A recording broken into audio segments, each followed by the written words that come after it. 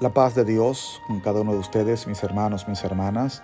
Soy el Padre Elvin de los Santos Montero y quiero compartir con ustedes el Evangelio. El Señor esté con ustedes. Lectura del Santo Evangelio según San Mateo. Gloria a ti, Señor.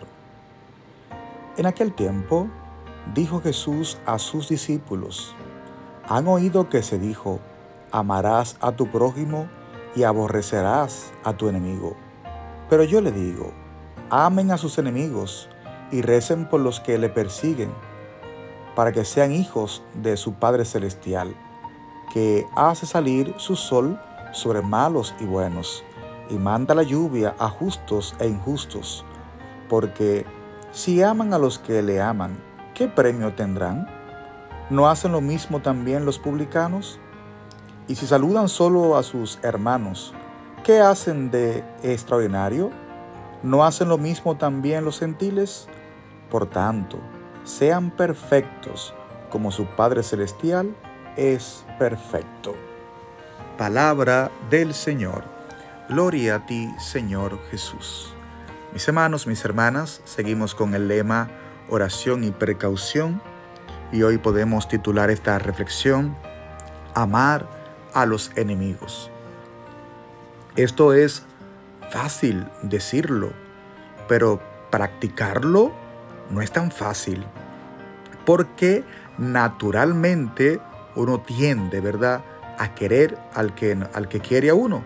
Uno tiende a hacer el bien al que te hace el bien, sonreír al que te sonríe, pero al que nos hace mal, al que nos odia, como que naturalmente uno también quiere hacer lo mismo responder como se hacía en el Antiguo Testamento. Si tú te portas bien conmigo, me porto bien contigo. Jesús nos pide algo más. ¿Qué pide Jesús? Amar a los enemigos. Indiscutiblemente que entrar en esta dinámica de amar a los enemigos es imposible hacerlo humanamente, pero con la ayuda de la gracia de Dios es posible. Cuando estamos movidos por los sentimientos de Jesús es posible. Aquel que cuando estaban crucificándolo fue capaz de decir, Padre, perdónalo. Es la palabra también que sale de nuestro corazón cuando vamos adquiriendo los sentimientos de Jesús. Y la palabra nos invita a la perfección. Lo que expresa la perfección es el amor es el perdón. Lo que expresa que tú y yo somos cristianos, que somos hombres y mujeres que de verdad estamos viviendo una vida en comunidad, una vida cristiana de entrega, es el amor, ser capaz de entrar en el perdón. En definitiva, mis hermanos, mis hermanas, hoy es un día donde se nos da la, la pauta fundamental para ver si somos de verdad cristianos profundamente ¿Y cómo se demuestra esto? Si somos capaces de perdonar al que nos ofende. Si somos capaces de amar al que nos odia.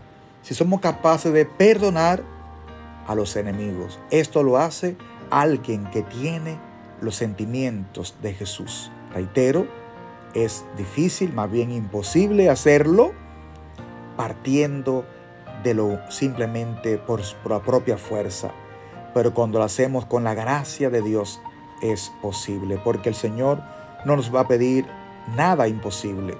Si Él nos pide algo, es porque se puede hacer, claro, con su gracia. Que el Señor hoy nos dé esa fuerza de perdonar a los que nos odian, de amar a aquellos que nos odian. Amén. Señor, nos disponemos hoy delante de tu presencia y te pedimos, Señor, perdón porque se nos hace difícil. Muchas veces eh, obramos ojo por ojo, diente por diente. Y te pedimos la gracia, Señor, de amar como lo hace Jesús, de perdonar como lo hace Jesús, porque solo no podemos. Amén. Mis hermanos, mis hermanas, compartan con sus contactos este Evangelio y recuerden que bajo el manto de María Santísima cabemos todos. La bendición de Dios Todopoderoso, Padre, Hijo y Espíritu Santo, descienda sobre cada uno de ustedes, familiares y amigos, y permanezca para siempre. Bajo el manto de María Santísima cabemos todos.